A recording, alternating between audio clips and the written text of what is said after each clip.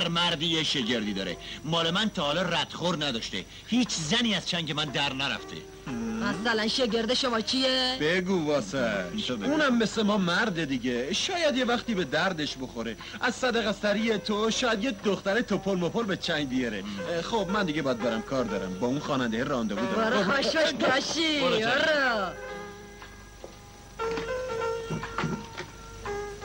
خب خیلی دلت می‌خواد بدونی شگرد من چیه ها؟ بله. پس گوش کن.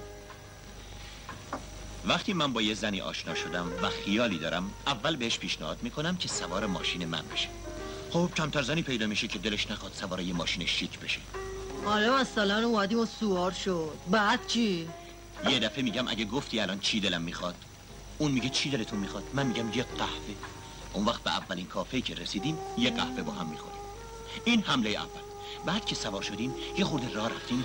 یه دفعه میگم خیلی عجیبه. چه تصادفی.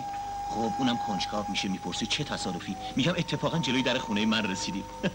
خلاصه معطلش نمی‌کنم. میگم دلتون می‌خواد بریم بالا آلبوم خانوادگی ما رو تماشا کنیم. خب پیشنهاد من خیلی معصومانه است. قبول می‌کنه. خب بله. تا اینجاش که خطری نداره. اما بعدش چی؟ وقتی وارد آپارتمان مخصوص من شد گیج میشه.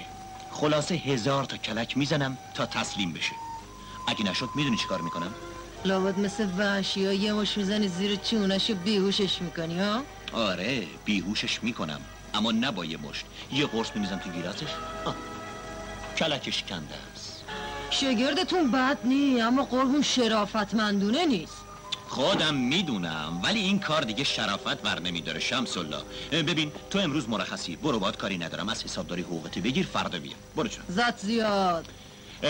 راستی شمس الله اون شگرد منم بکار ببر فردا خبرش به من بده. یادت نره. حتما آقا حتما.